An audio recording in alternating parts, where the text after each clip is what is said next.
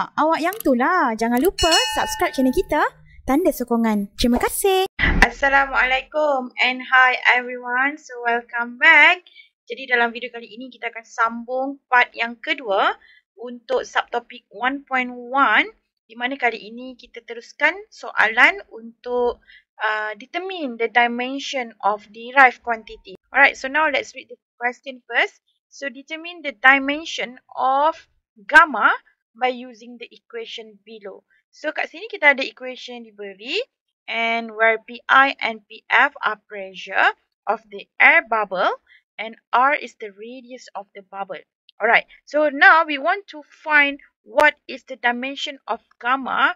So kita jadikan ini sebagai perkara rumus, alright?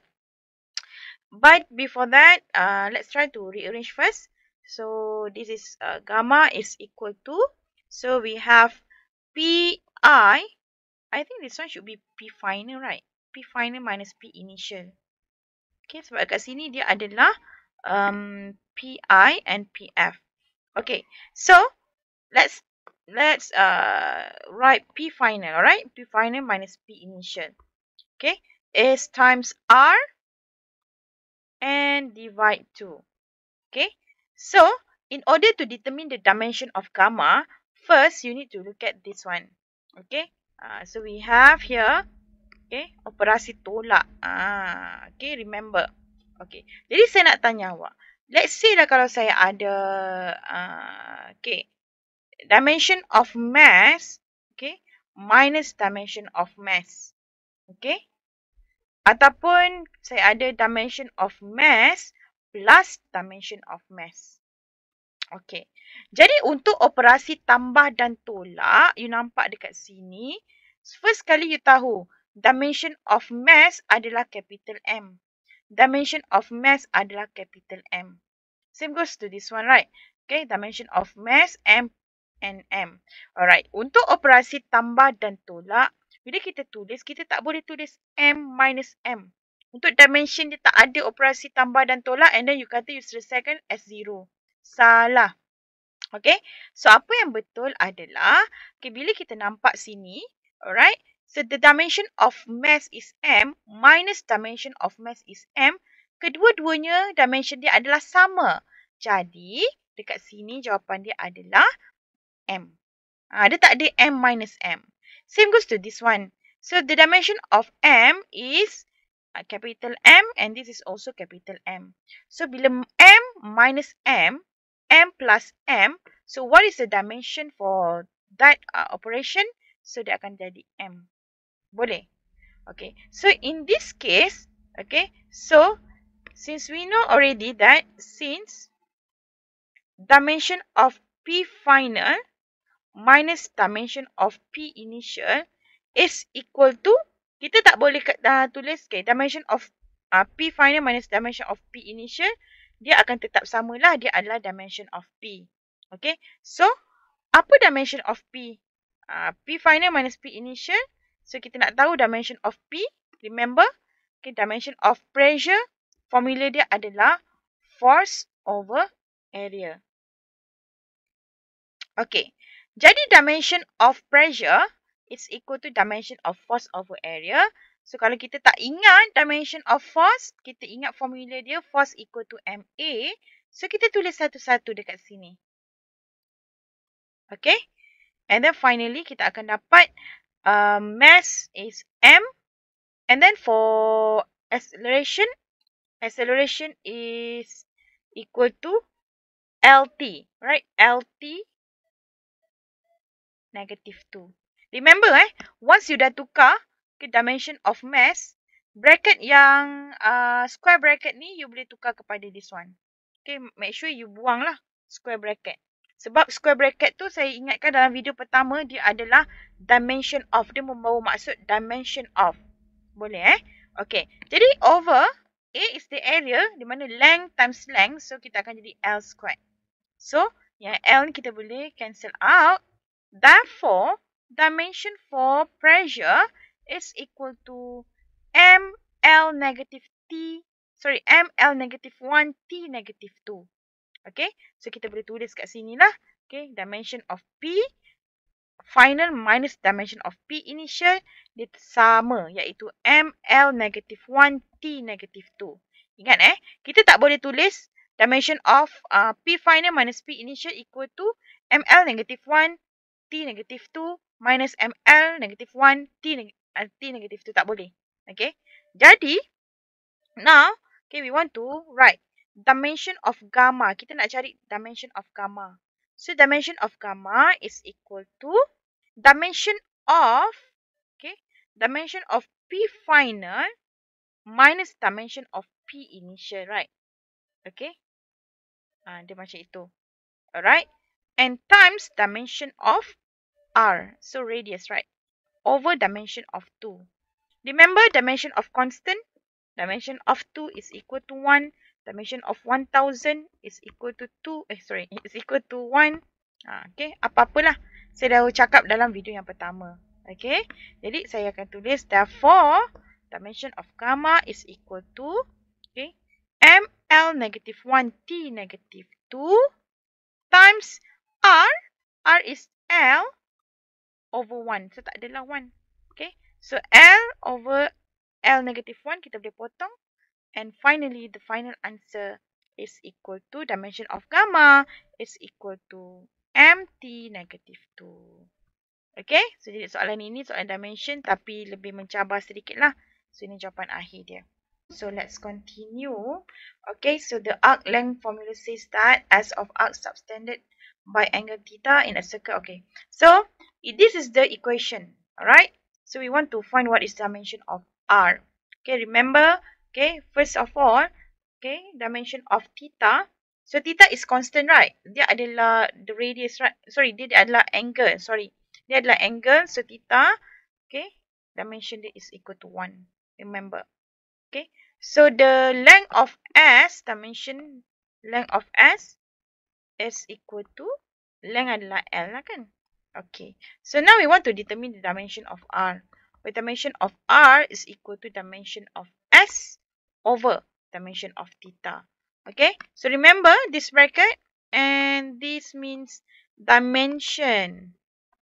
Okay, dimension of y. Alright, so now S is L over dimension of theta is 1.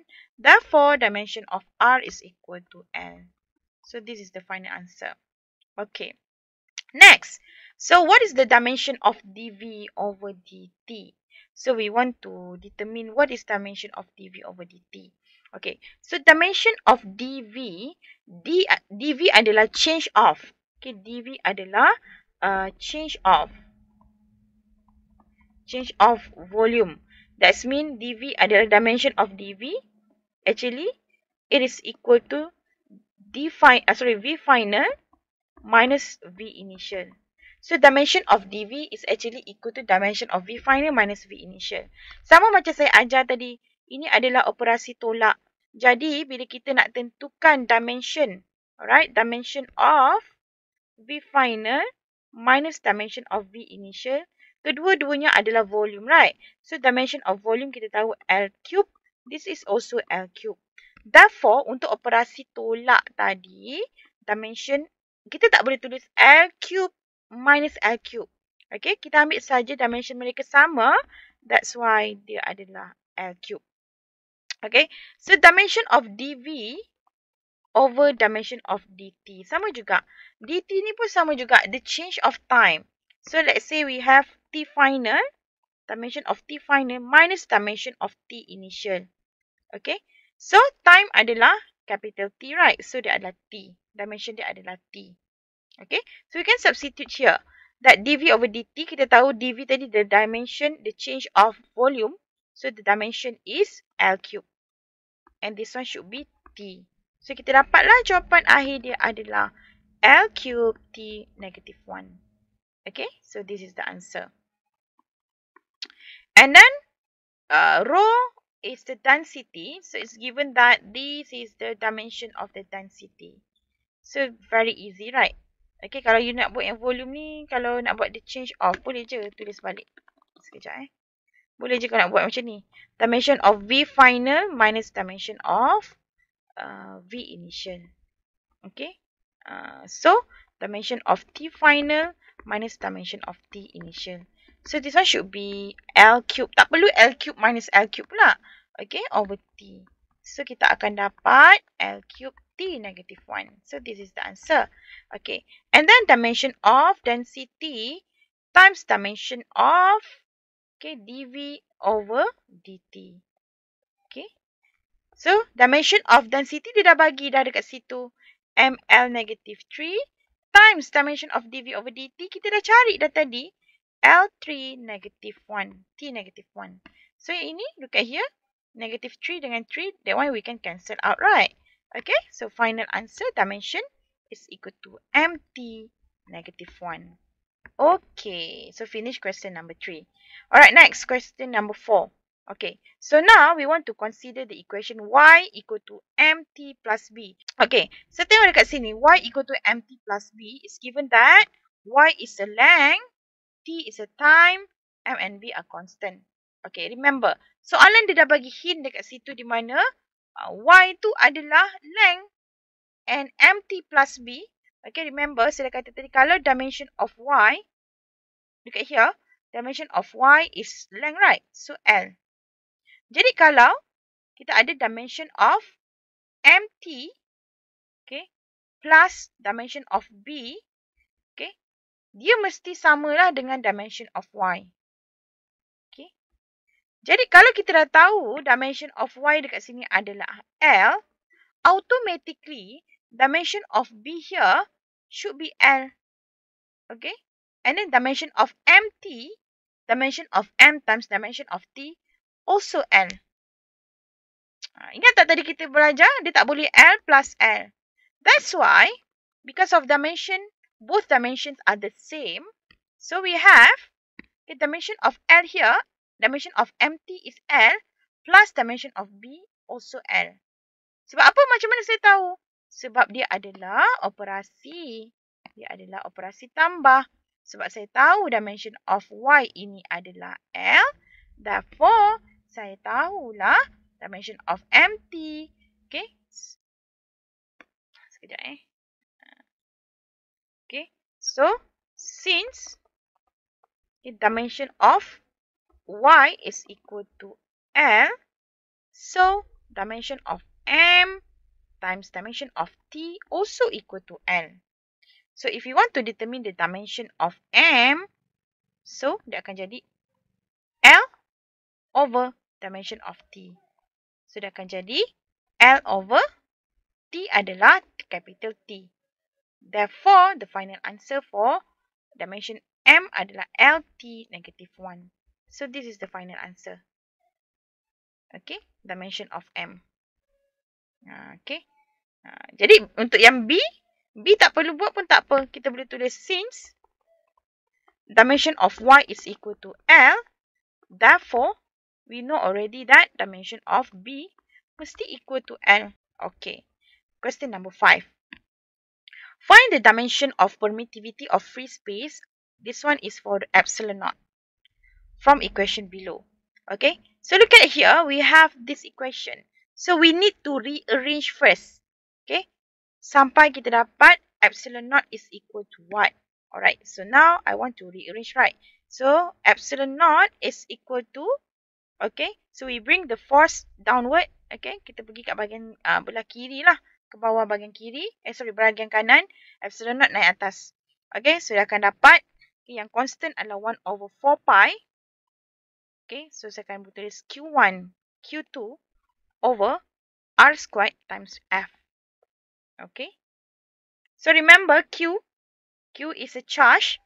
Okay, remember that dimension of Q formula Q adalah Q equal to current darab dengan time. Alright, so I T. And then remember, uh, dimension for current is equal to capital A and dimension of time is equal to capital T. Okay, uh, so kita dah tahu dah dimension untuk F. Ingat pula dimension untuk force. Kalau lupa, tulis balik formula dia. Dimension of mass times dimension of acceleration. Okay. So, dia akan jadi mass adalah M LT negative 2. Ada di sinilah. Dia kat tepi ni. Mass, okay. Dimension of mass is capital M. Dimension of acceleration is LT negative 2. Kalau kita dah kerap buat, kita dah boleh hafal dah. Dimension of force is MLT negative 2. Okay. And then dimension for R is equal to L lah, capital L length. And then dimension of 1 over 4 pi, remember this is constant. So, mesti equal to 1.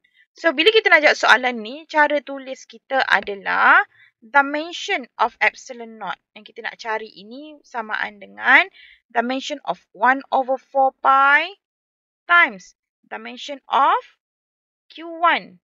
Alright, Q1 times dimension of Q2. Ingat eh, tadi saya terangkan ke awak, kalau kita ada contoh dimension of Q1 minus dimension of Q2, dia tak sama dengan dimension of Q1 times dimension of Q2. Okay. Ataupun dimension of Q1 uh, plus dimension of Q2. Same goes to dimension of Q1 divide dimension of Q2. Okay. Jadi kalau untuk operasi uh, darab dan bahagi, you boleh selesaikan. Tapi kalau untuk tambah dan tolak, kalau dimension dia adalah 80 dan dimension ini pun 80, it is equal to 80. Sorry this is equal to 80. This same goes to this one. But for this one, dia akan jadi 80 times 80. So, dia akan jadi A squared T squared. Remember. Okay. And Q1 dan Q2 dia akan jadi 80 over 80. Yang ni kita boleh selesaikan. So, dia akan dapat 1. Ingat eh. Only for uh, subtraction and also addition. Okay. This one you tak boleh selesaikan. You cannot solve the dimension. Boleh ke? Okay, so jadi sekarang kita tulis dimension of 1 over 4 pi is equal to 1, right? And then, oh ni saya tertinggal tadi. Sekejap. Saya nak tulis ni, tak siap lagi. Over dimension of R. Okay, squared saya letak luar. Times dimension of force. Therefore, 1 times 80 times 80 over. R tadi adalah L kan? Tapi sebab ada squared, sudah akan jadi L squared. Ha, ini jangan tertinggal pula L squared. Okay? And the force, dimension of force is MLT negative 2. Ha, ingat eh. MLT negative 2 dia duduk kat bawah ni. MLT negative 2. Ini tolong, tolong jangan careless kat sini. Ini adalah negative 2. Jadi bila you nak rearrange, okay, tak muat ni saya tu katanya. Therefore, dimension of epsilon naught is equal to A squared T squared, okay, over, okay, L cube, okay, yang boleh, uh, yang ini kita boleh, L ni kita boleh darabkan lah. L cube M T negative 2. Ah, T negative 2. Tapi T negative 2 tu, remember, dia duduk dekat bawah. So dia bahagi T negatif tu. So dia akan jadi T squared. Dia akan, bila dia naik atas dia akan jadi T squared. So dia akan jadi A squared. The final answer should be A squared. Ataupun kita pilihlah M. Ah, M yang duduk bawah ni, ni kan. M negatif. Ah, nak tulis A squared pun boleh. A squared T power of 4. Why T power of 4? Because this is T squared. Divide T negatif 2. Squared divide T power of negative 2. Ini you kena ingat betul-betul dia akan jadi T power of 4. You jangan cancel sesuka hati. Alright. Okay, boleh? Okay, A squared T power of 4. L negative 3. M negative 1. So, this is the answer. We cannot solve lagi dah. Dah tak boleh cancel. Tak ada apa lagi dah yang boleh cancel out. Okay. So, this is the final answer for question number 5. Okay, we finish part 2 for subtopic 1.1. So for the next video, kita akan continue dengan subtopic 1.1c. Tadi 1.b, okay, kita akan pergi pada 1.1c. Kita nak verify the homogeneity of equations using dimensional analysis. Okay, jadi siapa yang belum tengok lagi video short notes animation untuk dimension, you boleh pergi kepada folder chapter 1. You boleh cari dekat situ short notes untuk soalan, sorry, untuk subtopic dimension. Okay, jumpa lagi. Assalamualaikum. Bye-bye. Thank you.